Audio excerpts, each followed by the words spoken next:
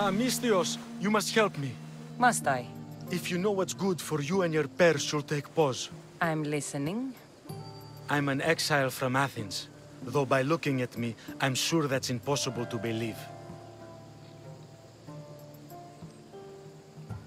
Your money's a siren song to bandits on Kefalonia. It won't last long. My drachmae aren't going anywhere. Except a portion will be paid to you if you agree to my terms. What's the problem? It's my brother Orneos. He's been captured by bandits. We were attacked when our ship landed. They must have smelled our wealth from across the water.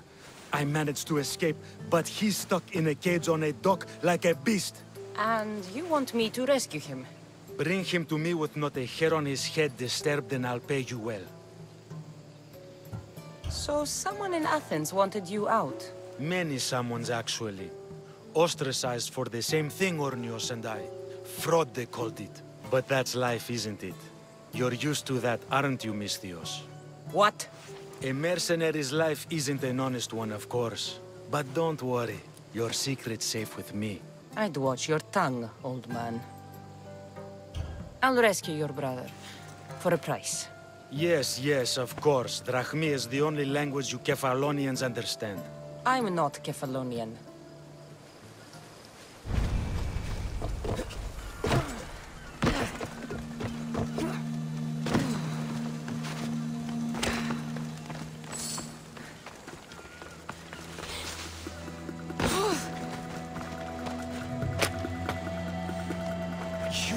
Dare they lay their filthy hands on me?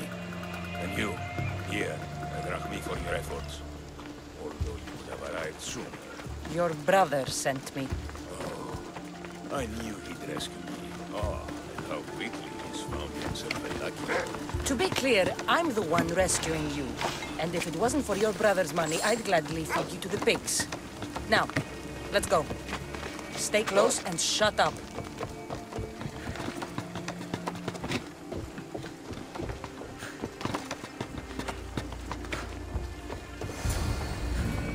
Orneos! Reunited again!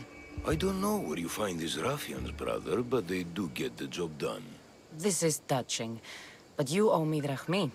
Don't think I didn't notice you looting one of my chests. Consider it a fee for your hubris, Malaka. Oh, she did bring you to me, Orneos. Let her go.